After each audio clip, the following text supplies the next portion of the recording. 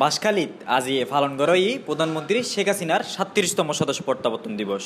তাদের পিতাকে সপরিবারে হত্যা করে প্রধানমন্ত্রীর সদস্য প্রত্যাবর্তন দিবস উপলক্ষে আয়োজিত অনুষ্ঠানত প্রধান অতিথি হিসেবে উপস্থিত আছেন স্থানীয় সংসদ সদস্য ও পানি উন্নয়ন বোর্ডের স্থায়ী কমিটির সদস্য মুস্তাফিজুর রহমান চৌধুরী। বিশেষ অতিথি হিসেবে উপস্থিত আছেন চট্টগ্রাম জেলা পরিষদ সদস্য ও দক্ষিণ জেলা মহিলা আওয়ামী লীগের নেত্রী শাহিদে আক্তার জাহান। এছাড়াও চট্টগ্রাম জেলার কারা পরিদর্শক মোহাম্মদ সাইফুদ্দিন রবি সহ বাঁশখালী ইউনিয়ন পরিষদের সকল চেয়ারম্যান ও পৌরসভা আওয়ামী লীগের নেতৃবৃন্দ অনুষ্ঠানত উপস্থিত আছেন।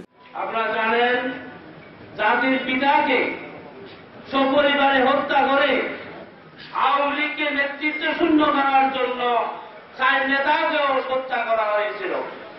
সেই জিয়র রহমানের নেতৃত্বে। ডেক্স নিউজ সি প্লাস টিভি এই যে দেখো কেওয়াই এর মুরগি মার্কা ঢেউটিন দিয়া বানানো আমার ঘর। কেওয়াইয়ের মুরগি মার্কা ঢেউটি লাগাইলেই হিট